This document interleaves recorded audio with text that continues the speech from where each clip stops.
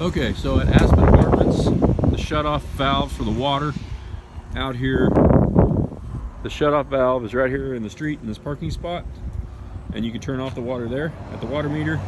But there's a lot better spot, as long as the leak is not between the water meter and where it comes into the laundromat, which is underneath this piece of concrete.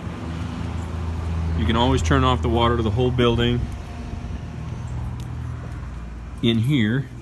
The main valve is down in that hole.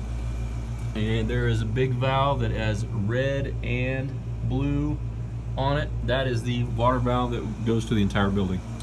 So now, if you want to just isolate only turning off the washing machines in the laundromat, there's uh, this hole over here.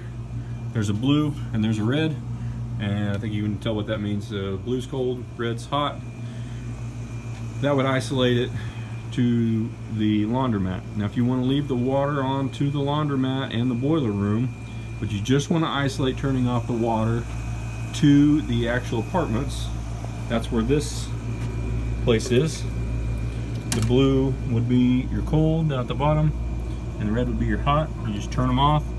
Now, you can't turn those off without going upstairs and turning off the circulating pump for the hot water. So if you ever want to just turn the cold water off, you can do that right here.